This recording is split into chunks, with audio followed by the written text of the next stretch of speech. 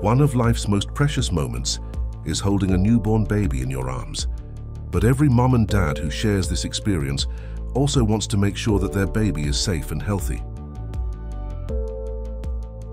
With this request, Navizard IoT's customized solution comes into play. Navizard IoT keeps babies and mothers seamlessly connected to each other in the hospital.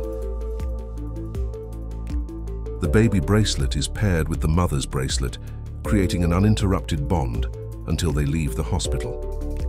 Navizard IoT helps authorized nurses in hospitals to maximize the safety of babies.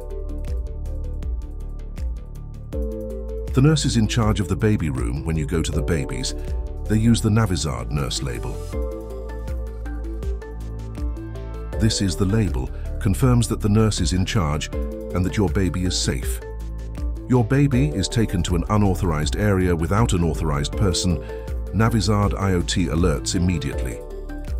Nurses are informed immediately, so that in case of any problem, it can be intervened quickly. Navizard IoT uses patented Bakelor technology to maximize the safety of babies. It allows you to enjoy every moment. Navizard IoT works with advanced sensors and powerful communication technology. The baby tag and nurse tag communicate continuously within the hospital, and centralized Navizard software provides real-time data. Navizard IoT enhances the safety of your most precious assets, your babies. While parents are happy to hear that babies are safe, hospital staff, on the other hand, state that they work more effectively.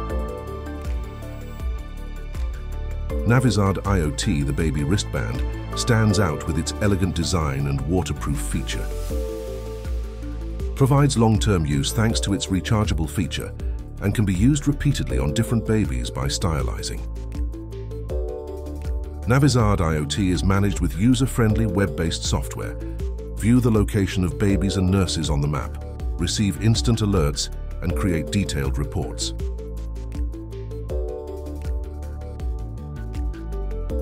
Security and data privacy is a Navizard priority. All data is protected by strong encryption. Ensure that sensitive information is secure Step up for the safety of babies with Navizard IoT. Contact us or visit our website for more information.